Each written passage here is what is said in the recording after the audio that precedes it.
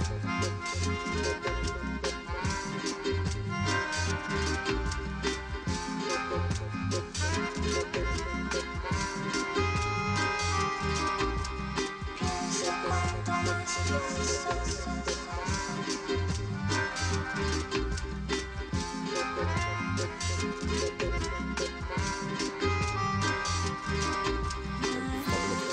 Bienvenidos, muy buena noche. Aquí comienza una nueva edición de 8.30. Hoy es día miércoles 18 de febrero. Julieta, bienvenida, muy buenas noches. Yamid, muy buena noche para usted, muy buenas noches para todos los que nos acompañan. Nos encanta recibirlos en este espacio y por eso queremos que participen a través de nuestras redes sociales. Arroba 830 en Instagram, arroba 830 en Twitter y nuestra página www.830.com. Un solo punto, ¿no? Un solo punto. Sí, pensé cmi.com, ahí también encuentran la señal en vivo. Sí, la señal en vivo de este programa la puede ver a través de www.cmi.com Listo, ahora sí. Una buena noticia, y es que aunque usted no lo crea, hay países que toman medidas preventivas para evitar el desorden y el caos en su movilidad. Aunque usted no lo crea, eso existe en lugares como el Reino Unido, donde ya en este momento Yamil se está planeando una legislación para los carros sin conductor. Usted sabe que en algunos años eso va a ser parte de la movilidad de las ciudades. Sí, los carros fantasma. Exactamente, los carros fantasmas que se manejarán a través de GPS y, satélites y sistemas como la telefonía móvil. Ellos ya tienen lista un paquete de leyes para esta primavera y el paquete completo del libro con la circulación como debe ser con estos carros estará listo para el 2017 como anticipación a lo que pueda venir con el desarrollo de esta tecnología. lo que usted quiere decir es que efectivamente todos los procesos de construcción estratégico de ciudad son planificables a largo plazo y eso evita que llegue uno a vivir en medio del caos. Más claro, o menos ¿usted puede creer que eso existe en el mundo? O sea, que es posible planificar la ciudad, que es posible pensar en que más adelante puede haber problemas de movilidad, entonces las ciudades desarrolladas del mundo se van preparando para el tema. Exactamente, y le invierten platica, entonces hay una plata destinada para eso, para estudios, para la preparación de las vías, cuando llegue la tecnología no los va a tomar por sorpresa. Y no terminar en remiendos de última hora de ver cómo se construye un metro de... ¿Y eso cómo dónde o qué? Ah. Muy bien, entendido y entendido también el mensaje. Julieta, gracias. Eh, vamos a iniciar esta primera crónica de la noche citando de cierta manera la vida de un personaje que ha estado con el barniz de la fama, del éxito, de la admiración, del referente de esfuerzo, de lucha y de disciplina, por un lado.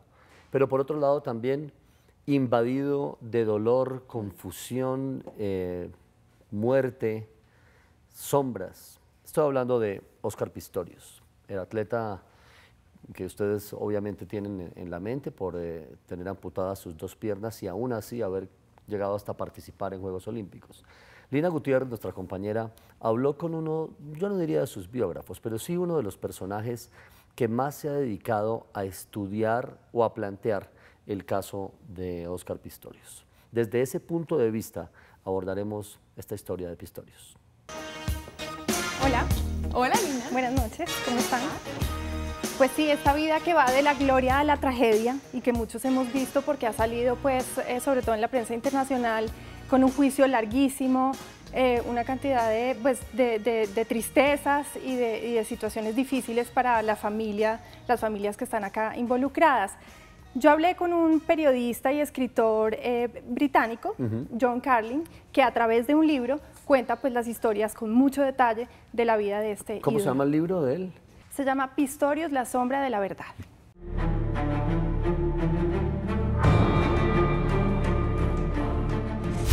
Arranca esa trágica noche de San Valentín de 2013, los minutos que siguieron a la muerte de la modelo Riva Stimka, tiroteada en un baño por su propio novio Pistorius, el niño al que le habían amputado las piernas por una malformación a los 11 meses, el atleta que corrió sobre prótesis en los Juegos Olímpicos con 25 años y que llegó a las semifinales de los 400 metros en Londres 2012, y el hombre que resume todo lo bueno y lo malo de Sudáfrica.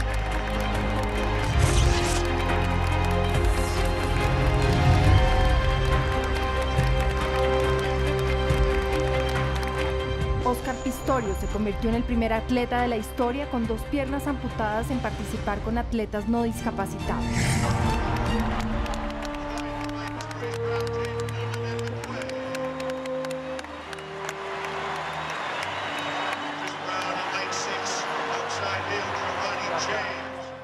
La historia de este hombre, que fue la inspiración de muchos, puso los ojos del mundo en la abarrotada sala del Tribunal de Pretoria en el veredicto del 12 de septiembre del año pasado, cuando el atleta sudafricano fue condenado por homicidio culposo a cinco años de prisión. Los detalles del hecho señalan que Pistorius mató a tiros a su novia a través de la puerta cerrada del baño de su casa. Según el velocista confundió a su novia con un supuesto intruso, cogió una de sus armas y sin encender la luz disparó cuatro veces a la puerta del baño en el que se encontraba arriba. En este crimen no hay testigos. O sea, el único testigo es el que disparó las balas. Él tiene su versión de lo que pasó. La jueza, al declarar culpable al atleta paralímpico, afirmó que no había pruebas suficientes para considerar que Pistorius, de 27 años, mató intencionadamente a su novia de 29 tras una supuesta discusión, lo que lo libró de la pena más severa posible, la cadena perpetua. Yo estuve en el juicio todos los días.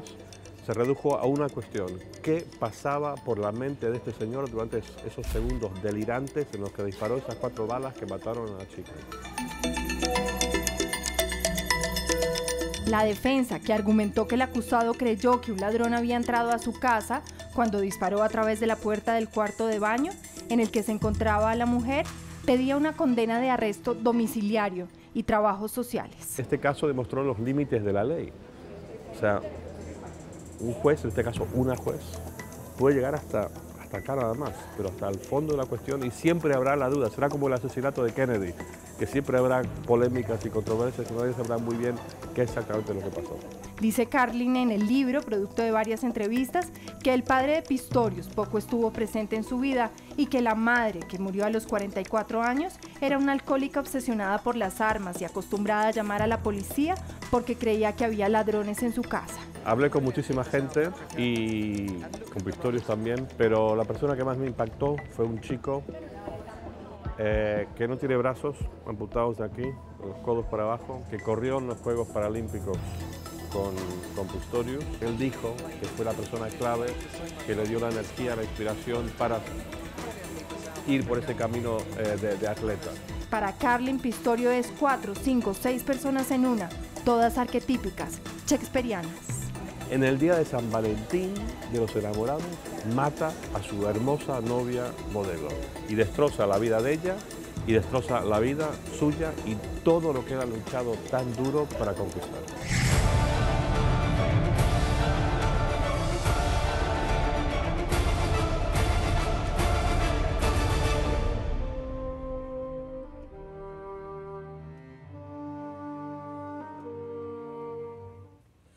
Lina, John Carlin es también autor de otros libros históricos importantes, como es el caso de Mandela y la famosa historia con el equipo de rugby. Así es, el libro Factor Humano, que fue llevado al cine y fue la pues, famosa película Invictus. Bueno, muchas gracias, Lina. Muy bien, música del mundo. Creo que, no sé, Julieta, hagamos memoria juntos. A ver. Pero me parece que uno de los países que nos hacía falta por visitar en sus sonidos era Italia, ¿no? Sí, sabe que sí, hemos ido a lugares Sí. diferentes, pero a Italia no habíamos pasado. Chiara Sibelo, directamente desde Italia. No sé si tenga mucho renombre o muchos pergaminos en la historia de la música, pero, pero vale la pena citarla, ¿no? Definitivamente, además porque los está adquiriendo. Ya tiene apenas un par de, de álbumes. El primero lo publicó en el 2005, un par de años después publicó lo, lo más reciente que conocemos de ella. Pero es una mujer con una formación muy extensa en el campo del jazz. Ella nació en Roma, pero a los 20 años se trasladó para Boston. Ahí estudió en Berkeley, se especializó en jazz y sobre todo adquirió una fascinación muy especial por los sonidos latinos y por el bossa nova, eh, particularmente. Se ha relacionado entonces con músicos brasileros, ha grabado álbumes en Brasil, colaboraciones y esta canción me encanta, un sonido perfecto para la noche. Se llama Arrivederci. Arrivederci. Eh, Andrés, ¿sabemos de qué parte de Italia es? ¿Norte o sur? Es romana. Ah, romana. Capitalina. Bon- Bonito gentilicio, ¿no? Romano. Romana. Gracias, Andrés. Con este sonido hacemos un primer corte comercial. Ya regresamos en segundos aquí a 8.30. Esco dalla tua vita, salutiamoci. Ah.